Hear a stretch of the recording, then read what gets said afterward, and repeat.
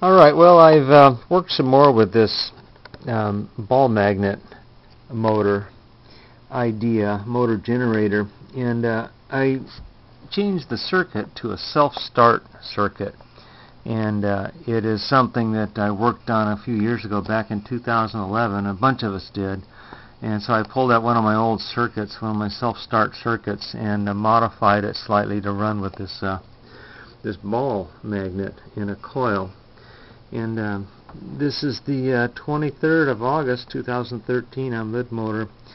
And what this does now is it lets you um, self-start the circuit uh, without having to use the other magnet. So you just self-start it. Probably hear that start up. It blinks and then it starts running.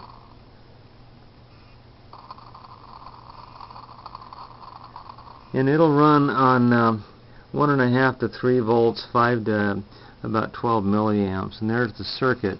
Now this uh, on the one I'm running is about 5k, but if you put a potentiometer there, you can uh, adjust it for whatever your inductance is for your coil.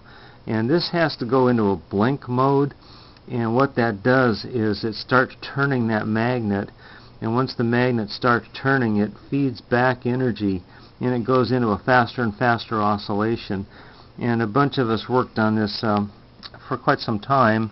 Uh, S-Mark Creations uh, had a real nice circuit that he came up with, and uh, Soul Robotics pendulum circuit is what we, we basically um, used as a uh, model and then went to this. But this, like I say, now self-starts, and you don't have to use the magnet.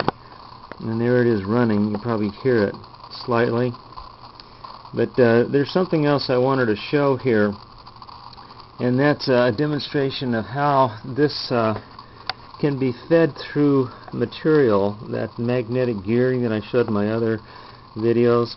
And I've got a scenario here where Maggie's got her new Lidmobile electric car. This is a simulation of what's in the future. And she's got the lithium battery powered car, basically. And she goes out and she does her shopping and she comes back to the garage. And this simulates the garage. And she drives her lidmobile right to a certain spot in the garage. And then uh, the car charges itself up through through the wall of the garage. And what's going on right now is that ball magnet is spinning in that coil and it's causing this lithium battery to get charged. Um, and uh, uh, you can call this wireless if you want to. Uh, it's not a transmission of energy it's a transference of energy from that spinning ball inside that coil run by that circuit. And then it's uh, charging up this battery through a remote pickup coil and they're already doing this. This is not uh, science fiction anymore. This is how this is actually being done. Uh, there's a group up in Canada that's, uh, I think, applied for the patents. And uh, this is probably how we're going to be doing our charging, I think, rather than straight induction, is with this uh, idea of using a rotating magnet.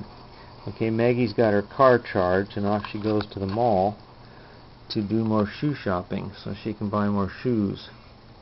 And that's the energy that's gotten into her little uh, lidmobile from the garage. Anyway that's just uh, a demonstration of what I think we're heading toward is uh, remote charging stations for electric cars perhaps using rotating magnets to transfer the uh, energy um, rather than uh, induction uh, straight coil to coil. I think we're going to use these rotating magnets. I think it's more efficient. That's just my thought on it. Anyway, that's the latest with my little uh, ball magnet motor. Thanks for watching.